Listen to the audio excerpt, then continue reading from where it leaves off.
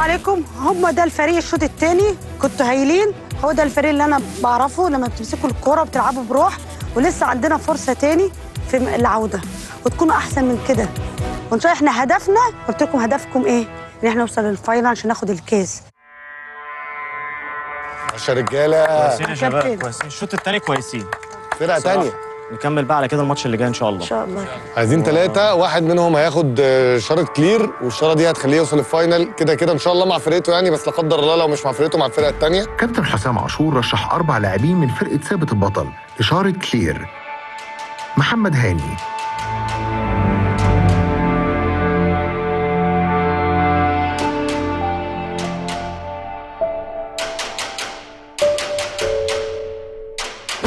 علي؟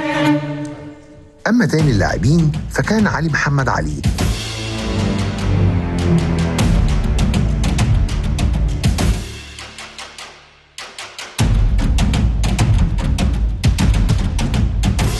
ثمانية فين إبراهيم شعبان كان ثالث اللاعبين.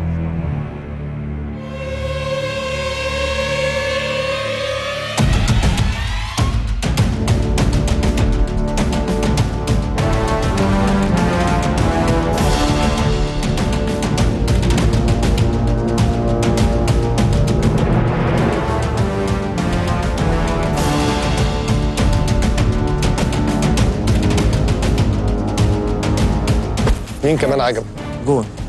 أما اللاعب الرابع فكان حارس المرمى محمد الصاوي.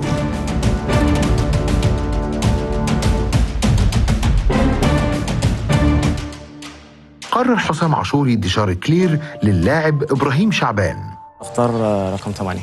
إبراهيم. كويس. أيوه ما تضحك يالا أنت ما بتضحكش النهارده ليه كده؟ قاعد مكلضم ومكشر طول الماتش ليه؟ ها؟ تعادلنا بقى. مش مهم مش مهم. ماشي يا. أخويا.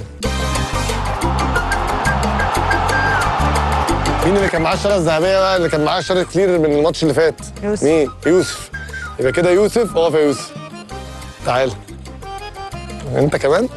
ارجع يلا ارجع هنا انت املك كله ان انت تكسب الماتش كده عشان تلعب ال final. إحنا هنكسب.